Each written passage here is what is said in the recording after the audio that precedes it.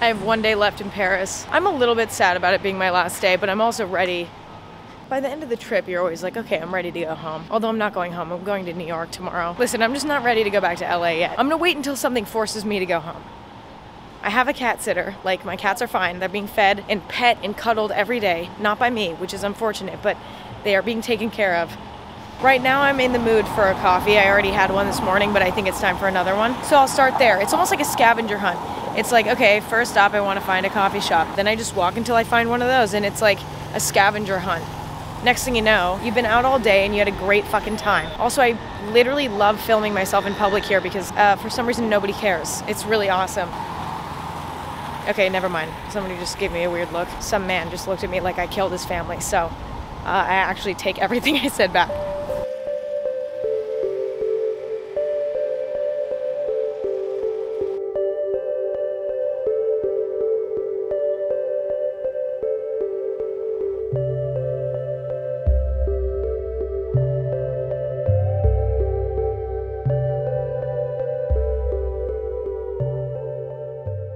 Slight issue. I need to go to the bathroom so bad. Like, not even just like, oh, I have to pee.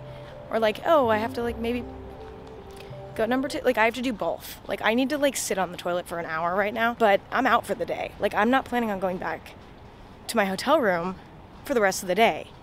So, you know, I mean, I'll figure it out. It's just that.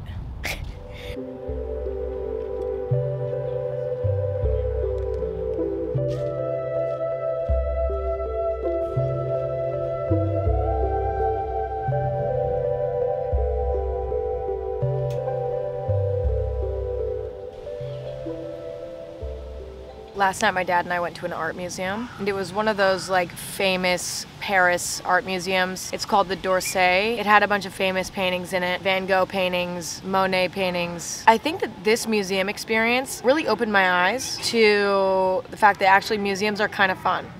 They're not fun, that's not the right word, but they're amusing. They're like relaxing and amusing. Like I wasn't like, ah, fuck yes, ah, I love this Monet painting so much. I'm having literally so much fun. This is better than Coachella. You know, like it wasn't like that. It's a very unique form of entertainment. Going to a museum is a very different kind of entertainment. Anyway, I took pictures of some of my favorite art pieces that I saw. You look at this dude laying in bed and you can like feel what his body feels like right now. Like he's been snuggled up in bed for a few hours. His blankets and sheets are all warmed up. He's all insulated in the in the bed and he's all warm. You know, like that's the vibe. Like that's the vibe. I can like feel this vibe. See, this is a Van Gogh painting and the funny thing about Van Gogh paintings is that obviously they're extremely famous. Everybody in the museum was like fangirling over the Van Gogh paintings, and it was so interesting to see people like fangirling over an inanimate object. But anyway, I was also fangirling. This is actually my favorite painting of all time. I am fucking obsessed with this painting. I honestly really want to buy a fake one and just put it up in my house, and I know that that's so wrong. Like, I know it's just so fucking good. I love all the colors in it, I love the wonkiness of the room. There's something weirdly nostalgic about it. I love how there's paintings of paintings in this on the top right. Like, this is just the fuck this is my favorite painting of all time. And i know that i'm not saying anything groundbreaking here. I think a lot of people probably love this painting. It's a very fucking famous painting. But whatever i can still appreciate it. It's so funny like with art i feel like talking about famous art is like the same thing as talking about popular music. It's like not cool to like the popular thing. But fuck all that. I hate that. And i love this painting. And i cannot wait to buy a fake one I don't know why I was so obsessed with this portrait. Van Gogh did this portrait of this dude. I just love his facial expression. He looks a little bit nervous. He looks like me anytime I'm at a social event. Like when I'm at a party, this is what my face looks like. Just a little bit uncomfortable. the fuck. Another Van Gogh painting that's just a fucking banger. This one is just so good. It kind of reminds me of Coraline. Coraline is my favorite movie, and this kind of reminds me of the house in Coraline. I just love everything about that. This is the famous Van Gogh self-portrait. I mean, I had to fucking take a photo of it. He looks great in it. The thing I do wonder about self-portraits back in the day is like how did they like how did they do it? Like did they take like a photo of themselves? Were there even cameras back then? I know there were cameras. Okay, don't get fucking mad at me. I play dumb all the time. I'm not actually that dumb. I play dumb a lot. And I am dumb sometimes. But I know that there were cameras back then. Actually, I'm not 100% sure. there had to have been cameras. I know there were cameras. Anyway, um, yeah, this is just a full painting of a vagina. I'd love to say that I'm classy. I'd love to say that I can see the beauty in a painting of a vagina. I took a selfie in front of it and I sent it to 10 people. You know what I'm saying? Like, anyway, I'm gonna start going to art museums more. I really enjoyed that. It's relaxing but not boring. It's kind of similar to reading a book. It's like this very relaxing form of entertainment, which I think the older you get, the more you appreciate. And so, you know, I might start going to museums more. I'm not kidding. I've had to go to the bathroom for the, the past half hour. And the problem is, it's hard to just find a bathroom. Like, I don't know where to go to find a fucking bathroom. Like, where do I go to find a bathroom?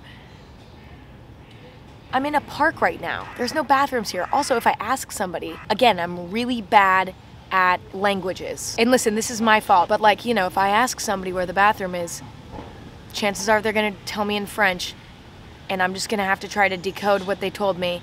And uh, I'll probably find a bathroom somewhere. The problem is, I don't know how long I can hold it.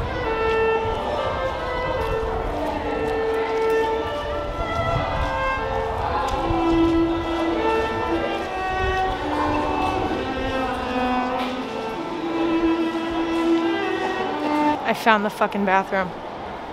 In in a mall. I think I'm in a mall, like a shopping mall. I don't know.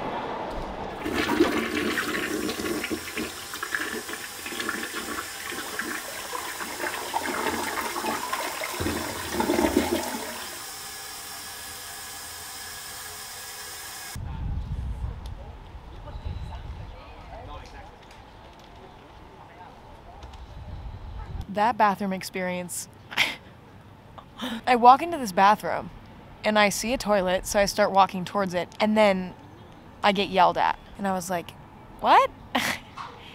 and she was like, You have to pay to use the toilet. And I was like, Oh, okay, that's fine. I will pay to use the toilet. I can't believe I have to pay to poop. Never thought that that would happen, but hey, sure. Whatever. I pay this woman. I get in line. I mean, like, I was in so, I was so uncomfortable. Like, I was past the point of no return. Like it wasn't like, oh, I have to pee a little bit, I have to poop a little bit. It was like, oh no, I'm actually about to shit and piss myself at the same time.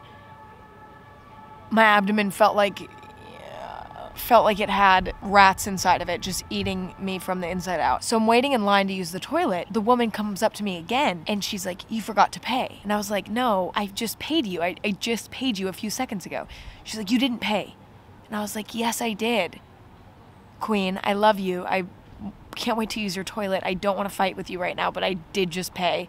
And I'm not going to pay again to go poop because I feel like that shouldn't be a thing anyway. Like, I feel like I should be able to poop for free in general. Uh, so I'm just paying once this time. And she was like, You didn't pay. And I showed her my receipt, and then she was like, Oh. Okay.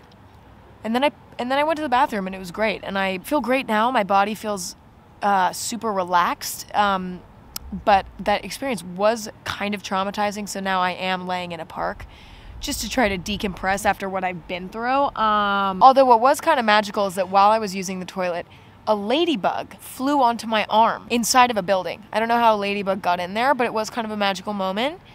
So me and this ladybug got to hang out while I was pooping, and you know, it was cute, it was sweet. But anyway, yeah, Oh my god, there's a fucking Eiffel Tower right there. Can you see it?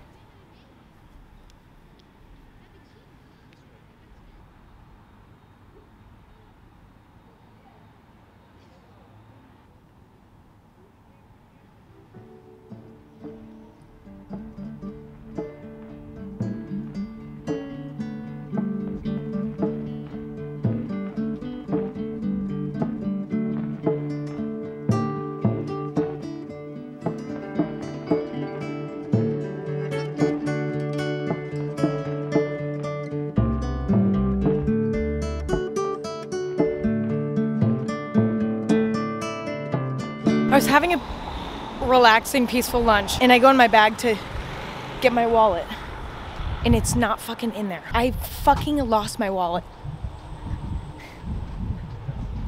Listen, it would be one thing if I was at home and I lost my wallet, but I'm not in, I'm not home. It had all my credit cards in it. Luckily, it didn't have my passport in it, but it had my vaccine card, like everything. And I'm freaking out. And I, I had to have left it at the coffee shop that I was at before, but that coffee shop closes in seven minutes, and I'm literally seven minutes away. So if they close early or they don't have it, I'm fucked. But I had to have left it there.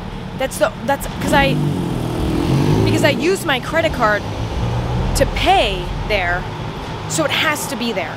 So I'm really hoping it's there because I it, it couldn't be anywhere else. If it's not there, I'm gonna I don't know. Everything just went to shit. If I can find it though, my day will be made and I will be I swear to God, I will be the most I will never complain ever again about anything if I found my wallet right now. you guys, oh my god. I fucking found it. It was at the coffee shop. When I walked in, they were like, "We know what you want." And I was like, "Yes." What would I have done? I don't know.